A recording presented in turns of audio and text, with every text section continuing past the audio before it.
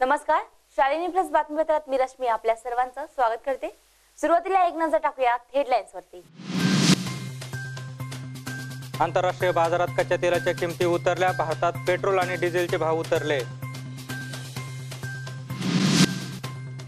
मुख्यमंत्री पर्रिकरांना साधुपिंडाचा कॅन्सर आरोग्यमंत्री विश्वजित राणेंचा खुलासा.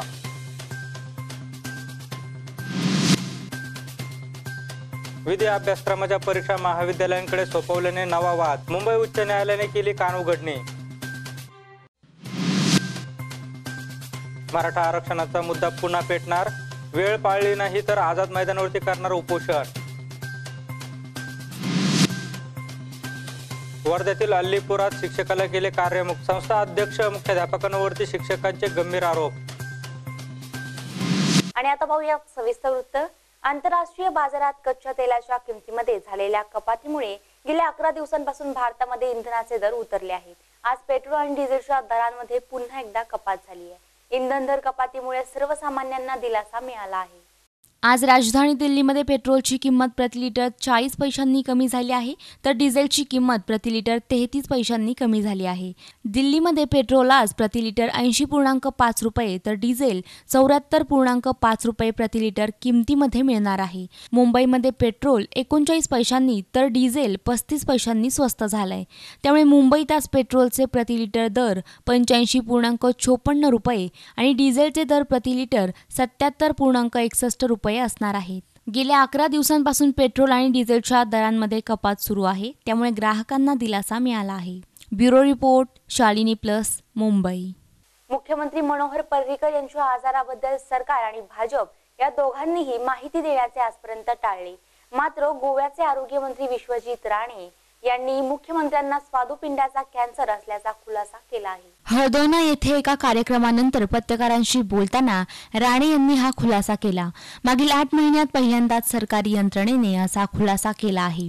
पर्रिकर हे राज्याचे मुख्यमंत्री आहेत आणि पर्रिकरांना स्वादुपिंडाचा कर्करोग आहे हे सत्य आहे. त्यात लपवण्यासारखे काही नाही असे राणे यांनी म्हटले आहे. सध्या पर्रिकर यांची प्रकृती चांगली नाही हे सर्वांना माहीतच आहे. एम्समधून त्यांना परत आणले आहे त्यांना त्यांच्या कुटुंबासोबत शांतपणे राहू द्या असं राणे म्हणाले. पर्रिकरांनी राज्यासाठी खूप काही केले आहे.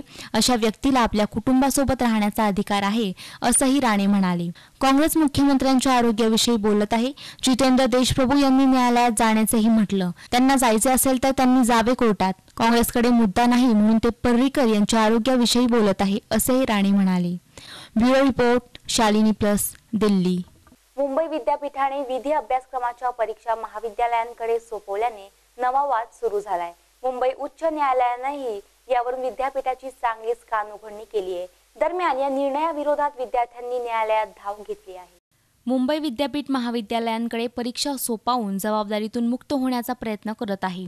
जर विद्यापीठात काहीच काम शिल्लक ठेवायचे नसेल तर विद्यापीठ बंद करा असं परखड मत शुक्रवारी न्यायालयाने नोंदवलं. या प्रकरणी बाजू मांडण्यासाठी मुंबई विद्यापीठाला एकोणतीस ऑक्टोबरची मुदत देण्यात आली आहे. यंदाच्या शैक्षणिक वर्षापासून परीक्षेसाठी साठ चाळीस पॅटर्न राबवण्याचा निर्णयही मुंबई विद्यापीठाने घेतला आहे. म्हणजेच साठ गुणांची लेखी परीक्षा होईल तर महाविद्यालय चाळीस गुणांचे अंतर्गत मूल्यमापन करेल असा हा फॉर्म्युला आहे. या दोन्ही निर्णयांवर विद्यार्थ्यांनी तीव्र नाराजी व्यक्त केली आहे. Bureau report Shalini plus Mumbai. Maratha आरक्षणाबाबत सरकारने दिलेली पंधरा नोव्हेंबरची मुदत पाळली नाही. तर वीस नोव्हेंबरपासून मुंबईच्या आझाद मैदानात आमरण उपोषण सुरू करण्याचा इशारा मराठा क्रांती ठोक मोर्चाच्या बैठकीत देण्यात आलाय. त्यामुळे पुन्हा एकदा मराठा आरक्षणाचा मुद्दा पेटण्याचे चिन्ह आहे. मुंबईत मराठा क्रांती ठोक मोर्चाची राज्यव्यापी बैठक पार पडली. यावेळी सरकारला हा अल्टिमेटम देण्यात आला आहे. पंधरा नोव्हेंबरपर्यंत आमच्या मागण्या मान्य झाल्या नाही तर वीस नोव्हेंबरपासून मुंबईतील आझाद मैदानात आमरण उपोषण सुरू करू असा इशाराही मराठा क्रांती मोर्चानं दिला आहे. Bureau report Shalini plus Mumbai.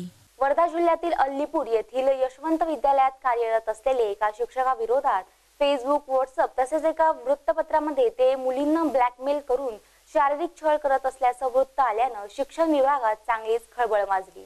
दरम्यान सत्य काय ते चौकशी करून शिक्षकावर कारवाई होणार का असा सवाल उपस्थित होत आहे. वर्धा जिल्ह्यातील अल्लीपूर येथील यशवंत विद्यालयात कार्यरत असलेले एक शिक्षक यांच्या विरोधात फेसबुक व्हॉट्सअप तसेच एका वृत्तपत्रामध्ये शिक्षक हा शाळेतील मुलींना ब्लॅकमेल करून शारीरिक छळ करतो. या शिक्षकावर कारवाई होईल असा मेसेज सोशल मीडियावर व्हायरल झाला होता. यामुळे शिक्षण विभागामध्ये चांगलीच खळबळ निर्माण झाली असून यासंबंधी चौकशी करण्याकरता हिंगणघाट येथील शिक्षण विस्तार अधिकारी आणि केंद्र प्रमुख हे यशवंत विद्यालय गाठून ते शिक्षक ज्या वर्गात शिकवतात त्या विद्यार्थिनींना शिक्षकाच्या वर्तणुकीबद्दल विचारपूस करण्याकरता आले. मात्र त्या शिक्षकाच्या विरोधात कोणत्याही विद्यार्थिनींनी माहिती दिली नाही. या संपूर्ण प्रकारात ग्रामस्थ संभ्रमात असून नेमकं काय खरं काय खोटं या विचारात पडले आहे. विस्तार अधिकारी शिक्षण पंचायत समिती वर्धा काल व्हॉट्सअपच्या आणि पेपरच्या न्यूज पाहिल्या असता.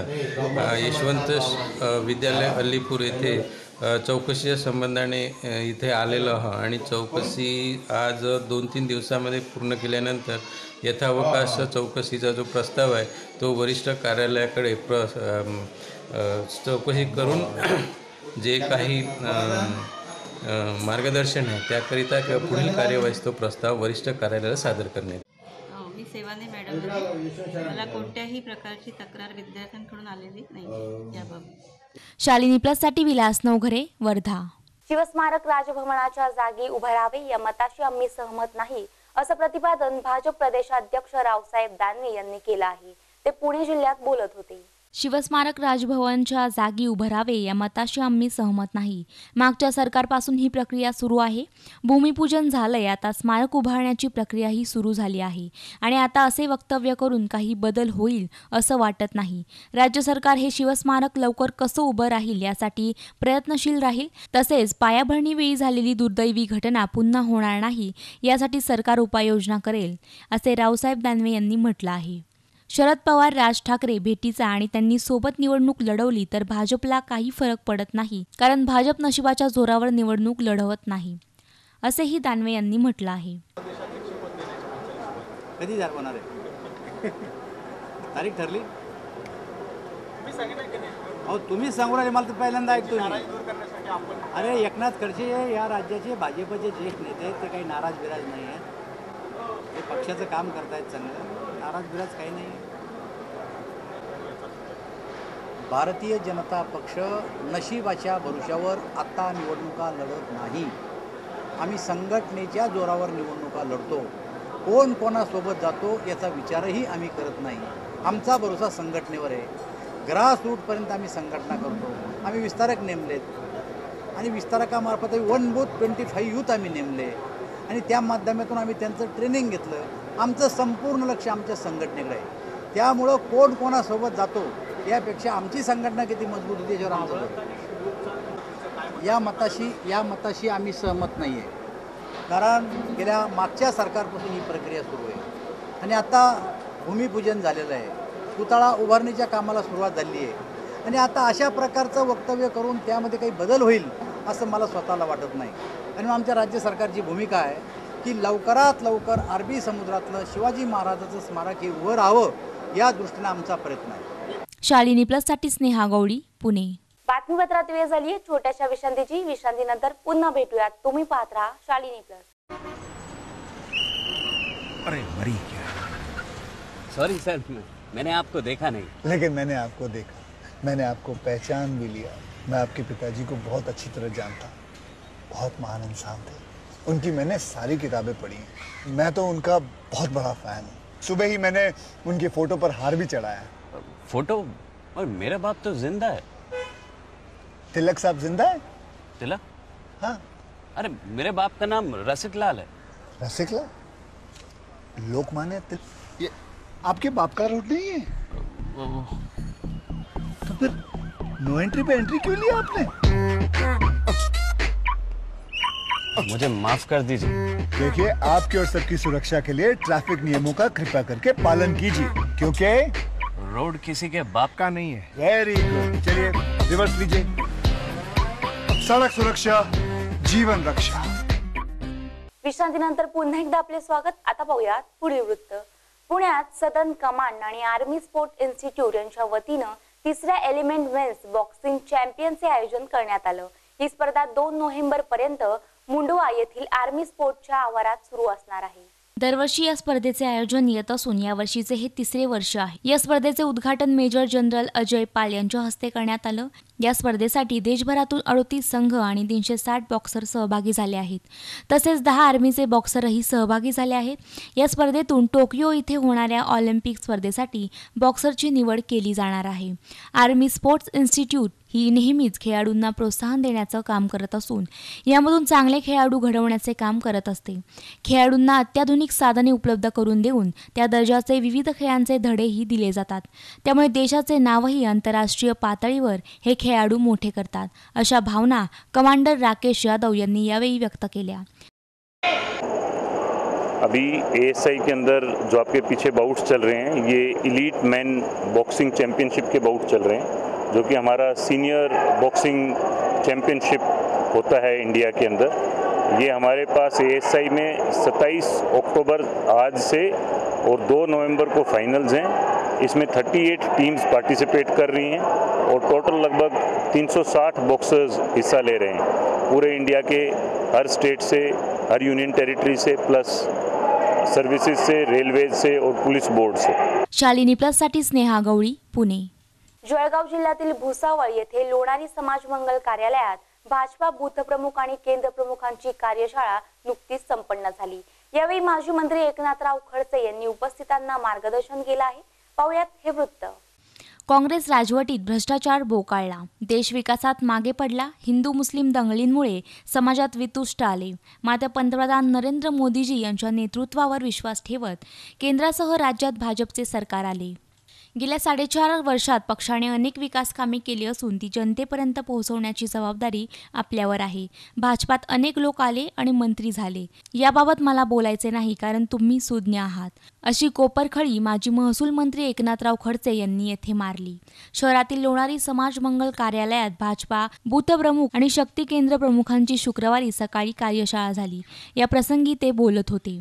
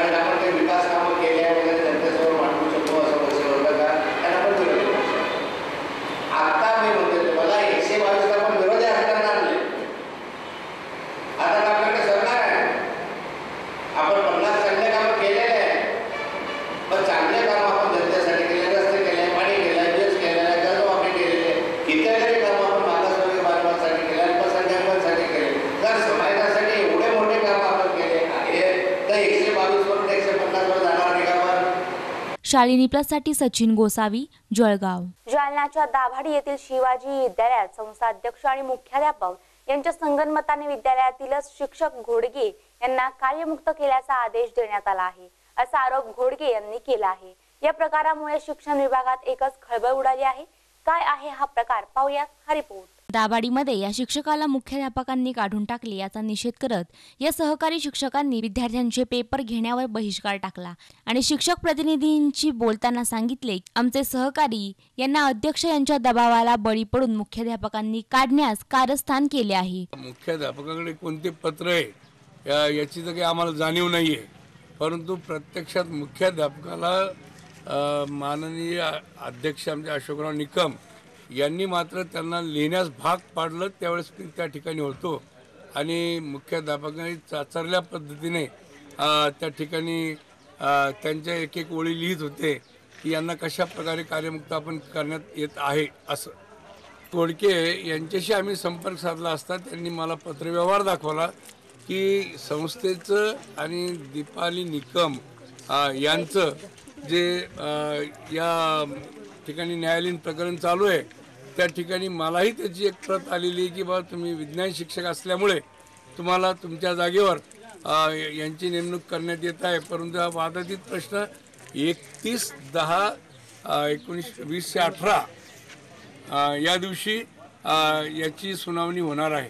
मग आता त्या सुनावणीमध्ये जो निर्णय होईल तो निर्णय दोघांनाही मान्य राहील. परंतु त्या अगोदरच आमच्या संस्थाचालकांनी मुख्याध्यापकाच्या हस्ते यांना कार्यमुक्त केलं. हे माझ्या दृष्टीनं शिक्षक प्रतिनिधी या दृष्टीनं हे चुकीचं आहे. ते सरांना कार्यमुक्त केलं असं त्यां- त्यांनी मला तोंडी सांगितलं आणि अ, त्याबद्दल मी जास्तीची माहिती देऊ शकत नाही कारण मी आज इन्चार्ज हेडमास्तर आहे. पण त्यांनी फक्त त्याच्यावर मला त्यांना सही नका करू देऊ एवढं फक्त सांगितलं. सही नका सही करू नका त्यांच्या शिक्षक हजेरीवर.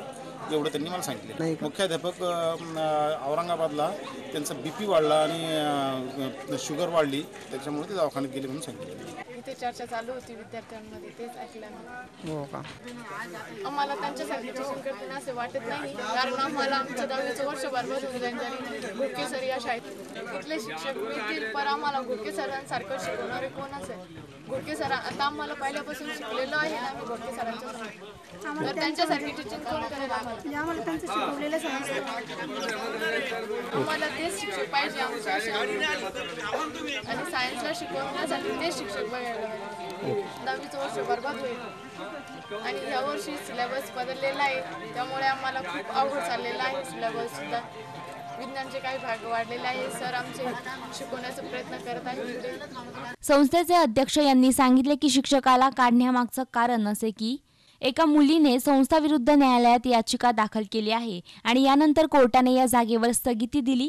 मात्र शिक्षणाधिकारी आणि अगोदरचे मुख्याध्यापक यांनी या शिक्षकाला समायोजन करून पदावर रुजू केलं होतं.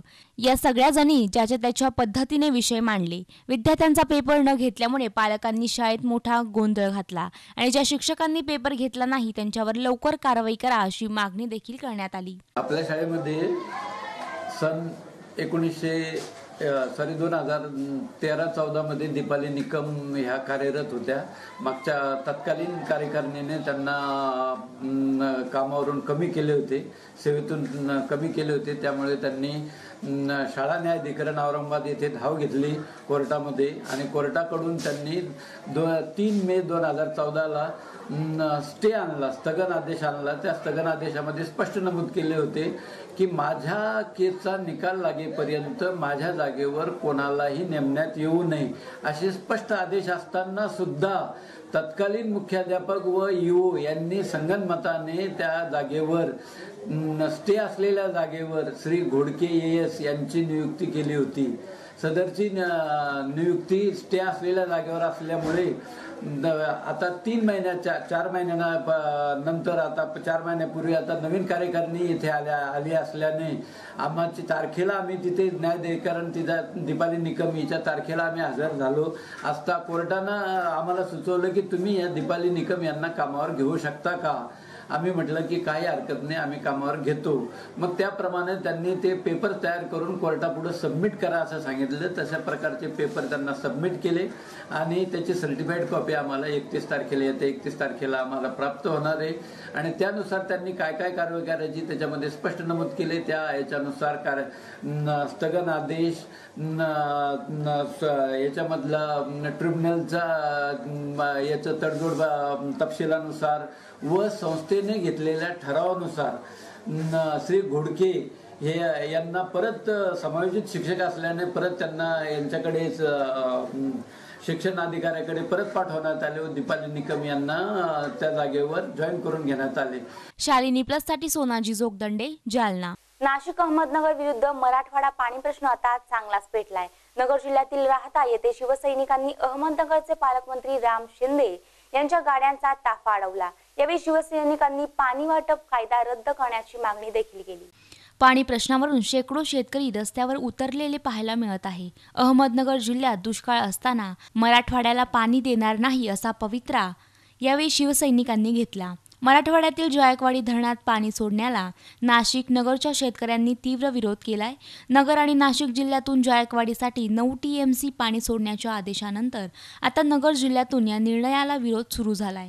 यावर्षी नगर जिल्ह्यातील पर्जन्यमान सरासरीपेक्षा कमी झालं असून पाण्याची भीषण टंचाई निर्माण झाली आहे अशावेळी जायकवाडीला पाणी देणे आमच्यावर अन्यायकारक असल्याची संतप्त प्रतिक्रिया शेतकऱ्यांनी दिली आहे. Bureau report Shalini plus Ahmednagar. प्रेमी युगलाने आत्महत्या केल्यानंतर महाबळेश्वर पोलीस आता चांगलेच आक्रमक झालेत. दरम्यान या घटनेची मृतकांची ओळख पत्र न घेणाऱ्या मालक व्यावसायिकांवर गुन्हा दाखल करण्यात आलाय. हॉटेल व्यावसायिकांनी पोलिसांच्या या कारवाईची चांगलीच धास्ती घेतली पाहुयात हे वृत्त. अहमदनगर येथील पर्यटक महाबळेश्वरमध्ये फिरण्यासाठी आले होते. पत्नी असल्याचं सांगून त्याने महाबळेश्वरमधील रॉयल हॉटेल बुक केलं. रात्रभर राहिल्यानंतर हे कपल टॅक्सी भाड्याने घेऊन लिंगमळा धबधबा पाहण्यासाठी गेले आणि त्यांनी स्वतःच्या नसा कापून घेऊन दरीत उडी मारत आत्महत्या केली आहे. ट्रेकर्स मंडळींनी रात्री उशिरापर्यंत या धबधब्यातून दोघांचे मृतदेह बाहेर काढले. पोलिसांनी या दोघांची माहिती घेण्याचा प्रयत्न केला. माहिती घेत असताना ते ज्या रूममध्ये राहिले होते त्या ठिकाणी पोलीस पोहोचले. हॉटेलची नोंदवही चेक केली तेव्हा पर्यटकाने पत्नी असल्याचं सांगून फक्त स्वतःचं ओळखपत्र हॉटेलमध्ये दिल्याचं उघड झालं. त्यामुळे महाबळेश्वर पोलिसांनी हॉटेल मालकावर गुन्हा दाखल केला आहे. अनेक वेळा आदेश देऊनही हॉटेल व्यावसायिक हे पोलिसांच्या आदेशाकडे दुर्लक्ष करत आहेत. मात्र आता पर्यटकांचे ओळखपत्र न घेतल्यामुळे अशा पद्धतीने गुन्हा दाखल करण्याचा पहिलाच प्रकार घडल्यामुळे हॉटेल मालकांनी धास्ती घेतली आहे. शालिनी प्लससाठी सकलेन मुलांनी कराड. वर्ध्यातील कोळना येथे गोवर रुबेला लसीकरणाबाबत जनजागृती कार्यशाळा घेण्यात आली.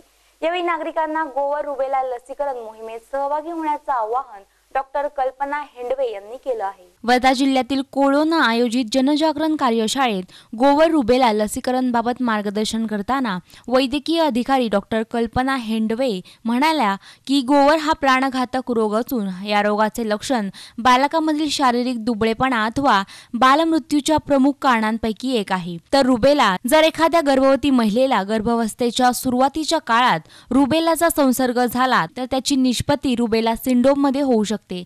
यामुळे महाराष्ट्रात गोवर रुबेला लसीकरण मोहीम राबवली जाते. या मोहिमेत नऊ महिने पूर्ण तर पंधरा वर्षाखालील सर्व बालकांना गोवर रुबेला डोस दिला जाईल. कोणाचे लसीकरण केले पाहिजे? नऊ महिने ते पंधरा वर्षे बालकावर लक्ष केंद्रित का? बालकांचे लसीकरण कुठे करण्यात येणार आहे? कोणाचे लसीकरण करण्यात येऊ नये? इत्यादी गोवर रुबेला याबाबत सविस्तर मार्गदर्शन डॉक्टर हेंडवे यांनी केले. तर यावेळी आरोग्य सेवक दिलीप उटाने म्हणाले की डेंग्यू आजारावर मात करण्यासाठी कोरडा दिवस पाळण्याचे आवाहन करत साथ रोगाच्या सर्व कार्यवाहीत गावातील नागरिक जोपर्यंत मनापासून सहभागी होणार नाही तोपर्यंत डेंग्यू आजारावर आळा बसू शकत नाही. गोळी नाही काही नाही आला ताप. तुम्हाला ताप आला जोरात तर पॅरेसिटामॉलची गोळीशिवाय दुसरा पर्याय नाही. आणि तुम्हाला एकदम ताप आला जर्जरीत ताप आला खूपच ताप जबरदस्त ताप आला मग आपल्या प्लेटलेस तुम्हाला करणार नाही. मग प्लेटलेस कमी होतात शरीरातल्या. जेवण होत नाही उलटी होते थकवा येते ह्या सर्व गोष्टी मळमळ वाटते. हे सर अंगाचे सांधे असतात ना स्नायू पूर्ण त्याच्यामध्ये दुखतात. हे सर्व गोष्टी त्या ठिकाणी होते. शालिनी प्लससाठी विलास नवघरे वर्धा. पुरंदर तालुक्यात भिवडी या गावात अर्धवट जळालेल्या अवस्थेत एक मृतदेह आढळून आला. या घटनेची माहिती मिळताच गावचे पोलीस पाटील यांनी घटनास्थळी धाव घेतली आणि त्यांनी घटनेची माहिती पोलिसांना कळवली. मात्र हा मृतदेह कुणाचा आहे हे अद्याप स्पष्ट झालं नाहीये. पुरंदर तालुक्यातील भिवडी या गावी एक धक्कादायक प्रकार समोर आलाय. जमीन गट नंबर तीनशे पासष्ट या मोकळ्या शेतात एका अनोळखी इस्माचे अर्धवट जळालेल्या अवस्थेतील प्रेत सापडले आहे. हा प्रकार भिवडी गावचे पोलीस पाटील अक्षय शिंदे यांना समजताच त्यांनी घटनास्थळी धाव घेतली आणि प्रकरण गंभीर असल्याने संबंधित सासवड पोलीस स्टेशनला कळवले. अंदाजे वीस ते बावीस वर्षीय वयाची मयत बॉडी असल्याचं लक्षात आलंय. सदर बॉडी ही पुरुष जातीची असून मयताच्या अंगावरचे असलेले कपडे हे अर्धवट जळालेल्या अवस्थेत आहे. जळालेल्या बॉडीचा चेहरा हा अर्धवट जळालेल्या अवस्थेत असून त्याची ओळख पटू नये. या हेतूनेच हा प्रकार केला असल्याचं प्रथमदर्शनी दिसून येत आहे. मयताचे तोंड अर्धवट जळालेले असून ते रक्ताने माखलेले अवस्थेत आणि तोंडावर आणि डोक्यावर जखमा झाल्याचं दिसून येत आहे. या अनोळखी व्यक्तीला कशाने तरी मारहाण करून त्याचा खून करून त्याची ओळख पटू नये याकरता मयत बॉडी ही भिवडी गावाच्या हद्दीत आणून तिच्यावर कसले तरी इंधन टाकून जाळून टाकले आहे. सासवड पोलीस स्टेशनने या प्रकाराची दखल घेतली असून अनोळखी मयत बॉडी पोस्टमॉर्टमसाठी पाठवली आहे. या झालेल्या प्रकाराचा पुढील तपास सासवड पोलीस स्टेशन करत आहे. शालिनी प्लससाठी सुनीता कसबे पुरंदर. नाशिकहून जायकवाडी धरणात पाणी सोडण्याचा प्रश्न चिघळत चाललाय. नाशिकचे आमदार देवयानी फरांदे पुन्हा एकदा हायकोर्टात जाणार आहे. जायकवाडीला पाणी सोडणे तांत्रिक दृष्ट्या चुकीचं असल्याचं फरांदे यांनी म्हटलं आहे. एकूणच नगरसह नाशिकमध्ये चांगलंच पाणी प्रश्न पेटला आहे. मेंढीगिरी अहवाल चुकीचा आहे. गेले काही वर्ष झाली हा अहवाल अंतर्गत जायकवाडी धरणात पाणी पुरवठा केला जात आहे. तरी यामध्ये काही तांत्रिक बाबी लक्षात घेता काही चुकीच्या आहे असे विधान आमदार देवयानी फरांदे यांनी केले आहे. आज इकडच्या अधिकाऱ्यांना देखील आता तातडीने पत्र पाठवत आहे. आणि हे जे काही मुद्दे मी टेक्निकली शासनाकडे एम डब्ल्यू आर आरकडे गोदावरी पाटबंधारे महामंडळ असेल आणि सी डी ओ मेरीचा दोन हजार चारचा अहवाल. ह्या सर्व अहवालाच्या आधारावरती तांत्रिक मुद्द्यांवरती मेंढीगिरी समितीचा अहवाल आज चुकीचा कसा ठरतोय हे इथं सिद्ध झालेलं आहे. दोन हजार पाचचा कायदा हा कसा चुकीचा ठरतोय हे चुकीचं चाललेलं आहे. तरी देखील आज मेंढीगिरी समितीच्या अहवालाचाच विचार करून दोन हजार तेराच्या आज पाणी सोडलं जातंय आणि चुकीचं आहे आणि म्हणून माझी मागणी आहे की कोहिलकरांवरती कारवाई करायला पाहिजे. आणि हे सर्व मुद्दे आम्ही हायकोर्टामध्ये देखील आम्ही उपलब्ध करून देणार आहोत. कोर्टाच्या निदर्शनात आणून देणार आहोत. आणि आज एम डब्ल्यू आर आरकडे देखील मी एक ते देखील एक न्यायी प्राधिकरण आहे. आणि त्यामुळे मी त्यांच्याकडे आज पिटिशन दाखल करून शालिनी प्लससाठी अमोल जाधव नाशिक. वेस्ट इंडिज आणि ऑस्ट्रेलिया या दोन्ही संघाविरोधात भारतीय क्रिकेट संघाच्या आगामी टी ट्वेंटी सामन्यासाठी आणि मालिकांसाठी भारतीय संघाची घोषणा करण्यात आली आहे. निवड समितीकडून घेण्यात आलेल्या निर्णयानुसार भारतीय क्रिकेट संघाचा माजी कर्णधार महेंद्रसिंग धोनी याला संघातून वगळण्यात आलाय. गेल्या बऱ्याच काळापासून धोनीचा एकंदर फॉर्म बघता निवड समिती या निर्णयावर पोहोचल्याचं कळतंय. इंग्लंड दौऱ्यापासून सध्या सुरू असणाऱ्या सामन्यांमध्येही धोनीला प्रभावी खेळाचं प्रदर्शन करताच आलेलं नाही. परिणामी त्याची संघात निवड न करण्यात आल्यामुळे हा त्याच्यासाठी धक्काच असण्याचं कळत आहे. वेस्ट इंडिज विरोधात खेळल्या जाणाऱ्या टी ट्वेंटी मालिकेसाठी कर्णधारपदी असणाऱ्या विराट कोहलीला आराम देण्यात आला असून धोनीला संघातून वगळण्यात आलं आहे. विराटच्या अनुपस्थितीत रोहित शर्मा संघाचं नेतृत्व करेल तर ऋषभ पंत यष्टीरक्षण करणार आहे. फिरकी गोलंदाज शहाबाज नदीम यालाही संघात स्थान मिळालं आहे. Bureau report Shalini plus Mumbai. Alephata येथे सुट्ट्या नोटा देऊन त्या बदल्यात आम्ही बंद नोटा देतो आणि ते सुद्धा वीस टक्के जादा दराने असे आमिष दाखवून पाबळ केंदूर येथील एका युवकाची फसवणूक केल्याची घटना समोर आली आहे या ठगांच्या टोळीला आळेफाटा पोलिसांनी बेड्या ठोकल्या आहेत. या प्रकरणात संतोष नामदेव मोरे या केंदूर येथील युवकाची आणि शेतकर्ज वाटपाचे पंचवीस लाखाचे अपहार करणारा वडगाव कांदळी येथील फरार व्यवस्थापक यांनी पुणे आणि नगरच्या लोकांच्या मध्यस्थीने सदर बावीस ऑक्टोबर रोजी फसवणूक केली होती. संतोष मोरे यांना सदर आरोपी आणि मध्यस्थी यांनी बतावणी केली की आम्हाला निवडणुकीकरता दहा लाख सुट्ट्या शंभराच्या नोटांची गरज आहे. आपण दहा लाख आणा आणि आम्ही आपणास वीस टक्के वाढीव म्हणजेच बारा लाख रुपये देतो. यानंतर संतोष मोरे हे आपल्या M H twelve P H अठरा अठ्ठेचाळीस या कारमध्ये सदर दहा लाख रुपये घेऊन आले असता. आरोपींनी त्याला त्यांच्याकडे असलेली दहा लाख रोकड घेऊन हातात बनावट झेरॉक्स केलेल्या आणि आतमध्ये कोरे कागदी बंडल हवाली करून पळ काढला होता. आळेफाटा पोलिसांनी त्वरित तपास करून दहा पुरुष आणि एक महिला यांना पुणे येरवडा नगर इत्यादी ठिकाणांहून अटक केली आहे. मात्र दोन मुख्य आरोपीचा अद्याप शोध चालू असल्याची माहिती आळेफाटा पोलिसांनी दिली आहे. आळेफाटा पोलीस ठाणे भाग पाच गुन्हा रजिस्टर नंबर दोनशे एकोणऐंशी पब्लिक दोन हजार अठरा. आय पी सी कलम चारशे वीस चारशे एकोणनव्वद ब चौतीस. हा गुन्हा दिनांक चोवीस दहा दोन हजार अठरा रोजी दाखल झालेला असून सदर गुन्हा बावीस दहा दोन हजार अठरा रोजी एकोणीस तीस वाजता आळेपाटा बसस्टँड या ठिकाणी पाबळ येथील एक फिर्यादी आहेत. त्यांना तुम्ही आम्हाला इलेक्शनसाठी सुटे पैशाची गरज आहे. तुम्ही आम्हाला जेवढे पैसे द्याल त्याच्या ट्वेंटी पर्सेंट जास्त देऊ बंदे पैसे. असं म्हणून त्यांना सांगितलं तुम्ही जेवढे पैसे द्याल तर त्यांनी त्या दिवशी संध्याकाळी दहा लाख रुपये घेऊन आले. आणि आळेपाटा बसस्टँड या ठिकाणी काही लोकांनी त्यांना त्यांच्याकडचे दहा लाख रुपये काढून घेतले व त्या बदल्यात बारा लाख रुपये बंदे असे म्हणून एका बॅगेत कागद भरलेली बॅग आणि वर अशा दोन दोनशे रुपयाच्या खोट्या नोटा.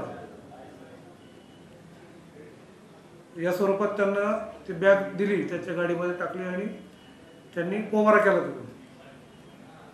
त्यानंतर हे जे फसवणूक झालेली इसम आहे त्यांनी पोलीस ठाण्यात येऊन अर्ज दिला. सदर अर्जाची चौकशी करत असता वेगवेगळ्या ठिकाणाहून पुणे जिल्ह्यात दहा संशयितांना ताब्यात घेण्यात आलं. शालिनी प्लससाठी रुपेश चापुडे जुन्नर. शेवटी पुन्हा एक नजर टाकूयात हेडलाईन्सवर आंतरराष्ट्रीय बाजारात कच्च्या तेलाच्या किमती उतरल्या भारतात पेट्रोल आणि डिझेलचे भाव उतरले. मुख्यमंत्री पर्रिकरांना साधुपिंडाचा कॅन्सर आरोग्यमंत्री विश्वजित राणेंचा खुलासा.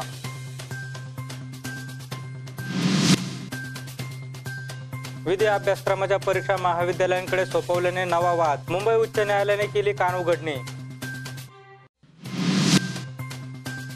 मराठा आरक्षणाचा मुद्दा पुन्हा पेटणार. वेळ पाळली नाही तर आझाद मैदानावरती करणार उपोषण. वर्ध्यातील अल्लीपुरात शिक्षकाला केले कार्यमुख. संस्था अध्यक्ष मुख्याध्यापकांवरती शिक्षकांचे गंभीर आरोप. आणि बातमीपत्रात वेळ झाली येथेच थांबण्याची. ताज्या अपडेट्स आणि घडामोडींसाठी पाहत राहा शालिनी प्लस. प्रतिबिंब वास्तवतेचं. नमस्कार.